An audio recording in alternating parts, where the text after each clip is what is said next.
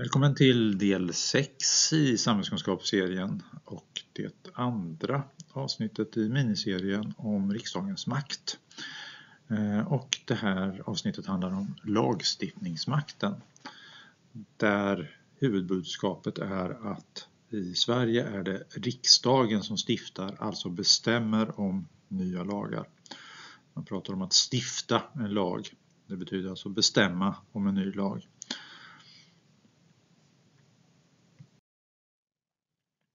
Och eh, en eh, ny lag kan eh, komma från två olika håll, eller idén om en ny lag kan komma från två olika håll.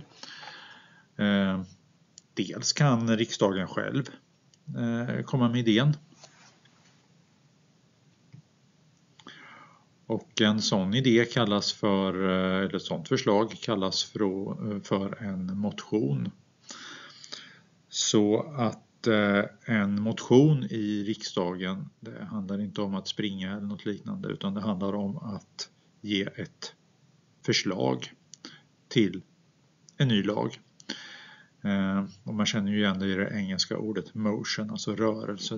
Det, är något, ett sätt att förändra någonting. Eh, och det här kan gå till på många olika sätt. Det kan vara en enskild riksdagsledamot, en av alla de här 349 ledamöterna. Eh, det kan vara en grupp av riksdagsledamöter. Eh, det kan till exempel vara alla riksdagsledamöter från en valkrets, alltså ett län, som bestämmer sig för att gå samman och skriva en motion, alltså ett förslag på en ny lag. Det kan vara alla riksdagsledamöter från ett parti alla moderater eller alla socialdemokrater. Eh, det kan också vara flera partier som går samman och skriver en motion. Så det finns många olika varianter där. Men så fort ett förslag kommer från riksdagen själv i någon form kallas det för en motion. Och eh, det här blir flera tusen motioner varje år. Så att eh, flera tusen förslag skrivs varje år Eh, från riksdagen om nya lagar. Eh, dock blir knappt en enda utav dem en eh, verklighet. Det blir inte en ny lag utav detta. Och då kan man ställa sig frågan varför? Och svaret är att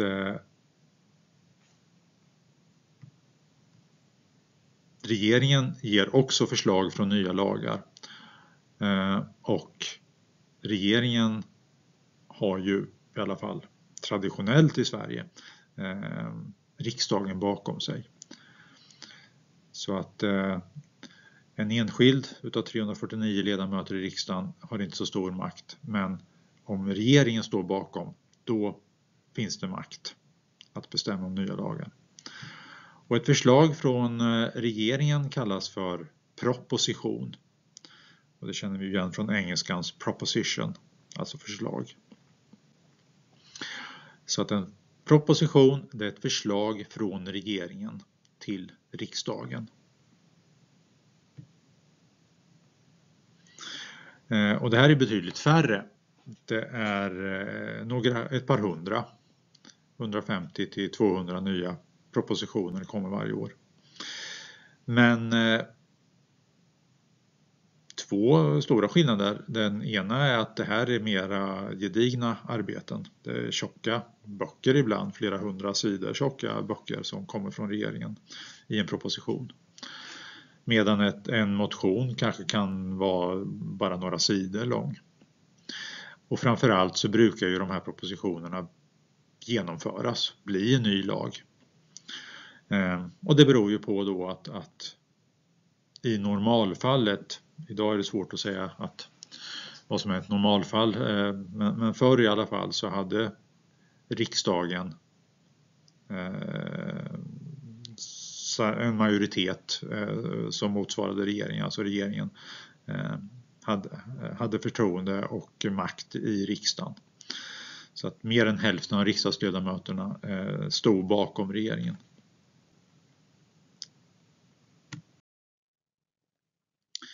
Eh, varje motion, oavsett om det är en, eh, en motion eller en proposition, varje förslag kommer till kammaren i riksdagen.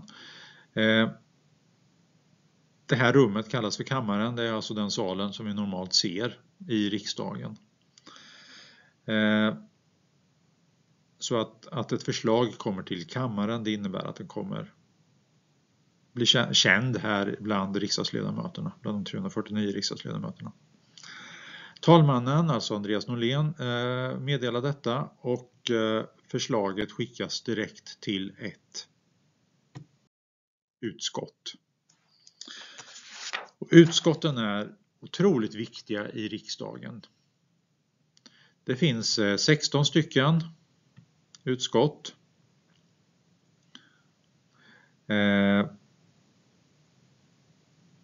Och eh, dessutom en EU-nämnd.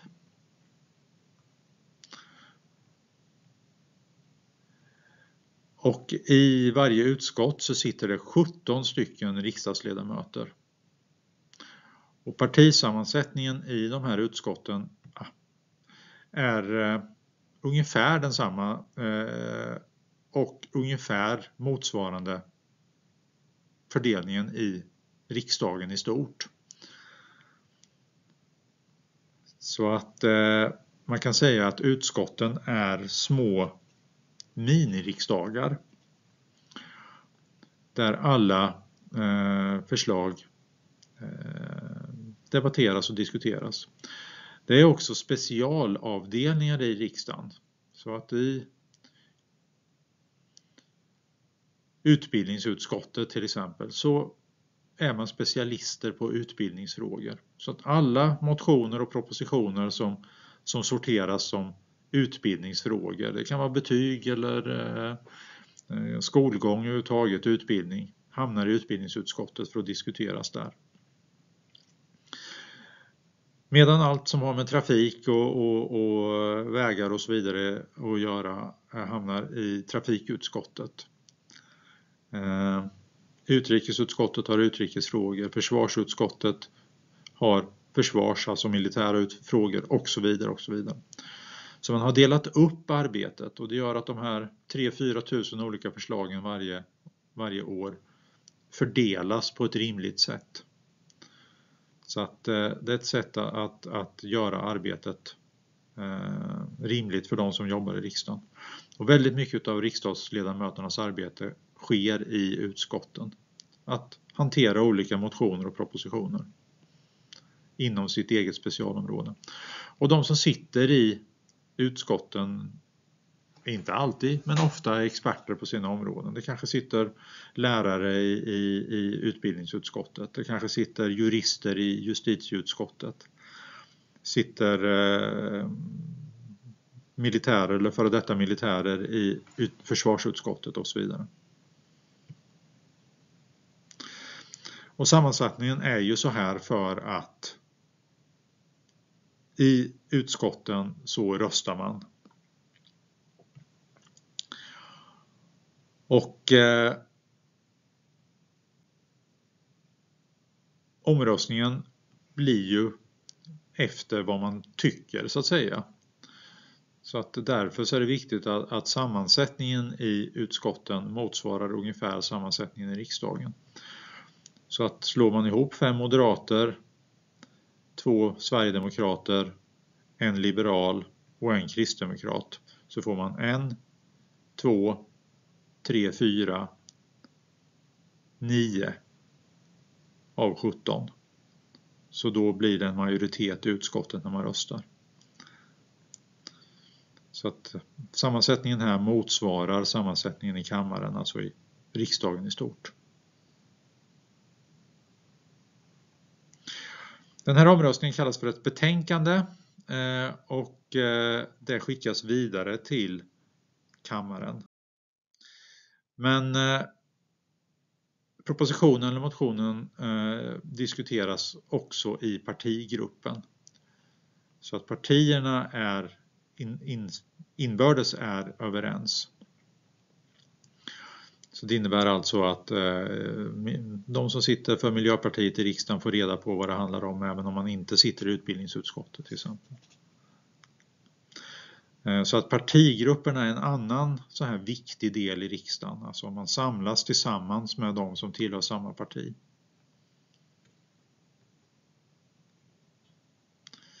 Eh, lite kuriosa.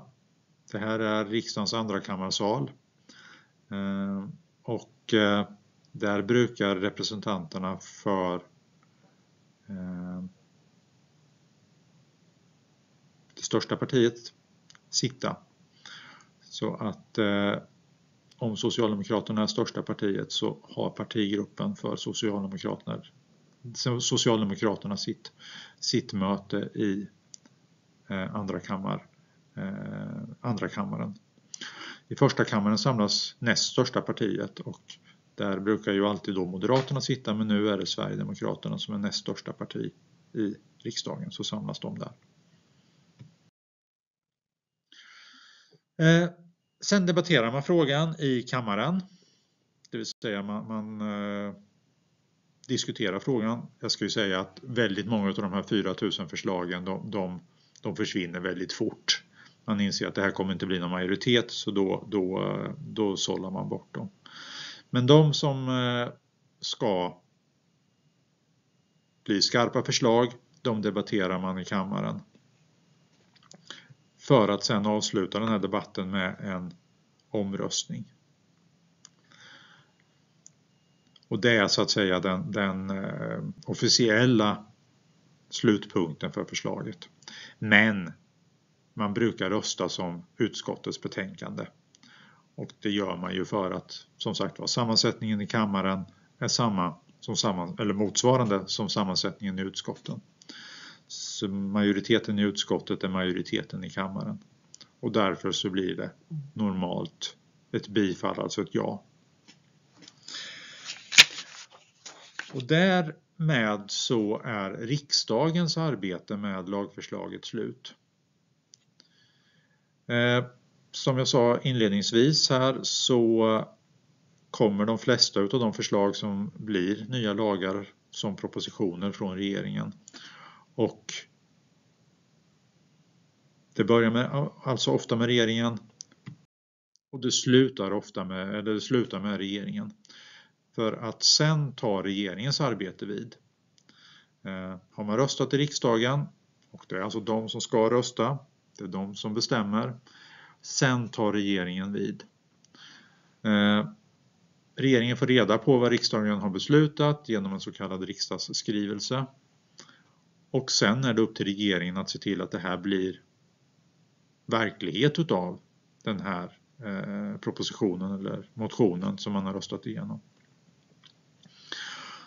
Och är det till exempel en utbildningsfråga, ja då går frågan vidare till Utbildningsdepartementet och så småningom Skolverket och, och kanske en gymnasieskola eller en komvuxskola i Gnosjö kommun.